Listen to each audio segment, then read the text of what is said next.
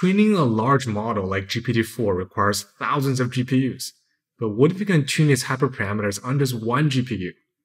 Mu transfer makes the hyperparameter optimization of an enormous neural network a lot cheaper by optimizing hyperparameters on a much smaller model and transferring the optimal combination to a large model. It has been used by Cerebras GPT and cited by Chinchilla from Google DeepMind and the GPT-4 technical report. My name is Edward Hu. I'm currently a PhD student advised by Yoshua Bengio. I created Mu Transfer with Greg Yang, now a co-founder of XAI. By the end of the video, you will know what Mu Transfer does, why it works, and how to apply it today. First, let's break down the mechanics of Mu Transfer. It has three simple steps. First, parameterize your model in the Mu parameterization, or MuP. Second, search for hyperparameters on the small model. Finally, copy the optimal hyperparameters from the small model to a large model. Let's unpack the first step, parameterizing the model in MuP with an example. Parameterizations describe how we change the model initialization and learning rates as a function of width. For example, when we double the width, should we make the learning rate smaller by a factor of 2, smaller by a factor of square root of 2, or not at all?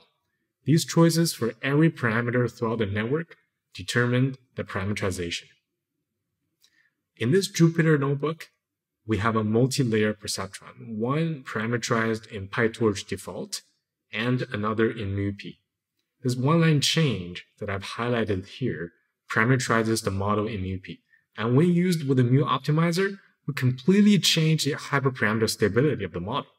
In this plot, the x-axis is the learning rate, and different curves represent different widths. I recommend following this notebook, which I've linked in the video description. Now you might be wondering, why these changes? The default scaling in PyTorch or JAX is designed for stability during initialization, but not during training. We'll come back to this later in the video.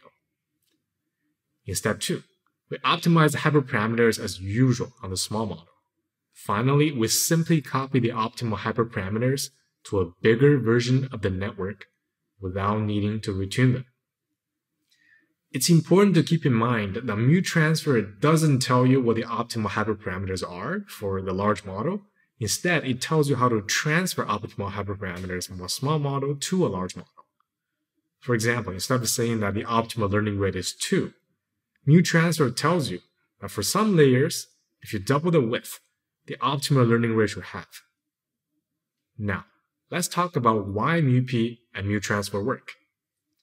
The most common operation in a neural network is matrix vector multiplication, which is a series of dot products. Within each dot product, we sum over with many products. In the infinite width limit, this summation has infinite terms that gives us a coordinate of the pre-activation. The key principle behind MuP is that this sum should neither explode to infinity nor vanish to zero because neither of these two are useful for downstream tasks. To ensure that we steer away from these two extremes, it's important that we understand the two convergence laws governing the result of this summation, the central limit theorem and the law of large numbers. If the individual pieces we're summing are independent and identically distributed, or IID, with zero mean, the result of the sum behaves according to the central limit theorem. This occurs in the neural network because of the random initialization, which typically has zero mean and IID coordinates. If these pieces where some are IID but has but have non-zero mean, the result behaves according to the law of large numbers.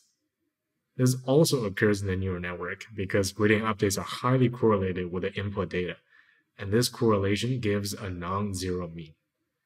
Now we have a problem because according to the central limit theorem, we need to normalize by the square root of width to stabilize the sum, but according to the law of large number, we need to normalize by width instead of a square root. MuP carefully manages these two behaviors, so none of the layer activations explode or vanish. A finite width neural network always learns some features in every layer, but the infinite width limit is much less forgiving. There's a trichotomy of exploding to infinity, feature learning, and vanishing to zero, because any incorrect scaling is instantly amplified to the extreme by the infinite sum over width. In fact, MuP is the unique parameterization that maximizes feature learning because other stable parameterizations fail to learn features in some layers. The mu in MuP actually stands for maximal update for this reason. MuP is also unique in that it is the only parameterization that gives empirical hyperparameter stability, as shown in this animation where we sweep learning rate for different widths. Check out Greg Yang's two-hour talk in the video description for a more technical take on MuP.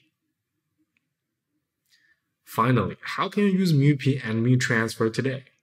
The easiest way is through the MuP repo on GitHub.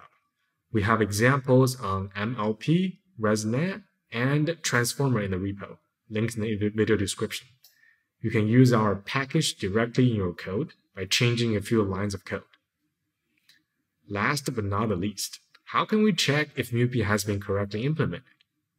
First, the activations after a few steps of training should stay stable across width. We call this the coordinate check. We should see this stability for MuP but not for standard parameterization.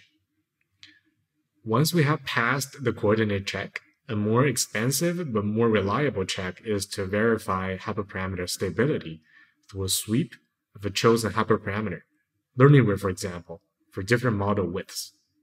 It is important that the hyperparameters for the smallest model are optimal in this case.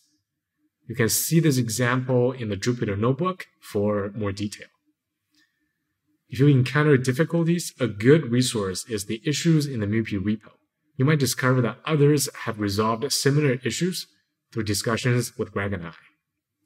If you can't find an answer, feel free to open a new issue and we'll try our best to respond. Thank you for watching, and I hope this helps.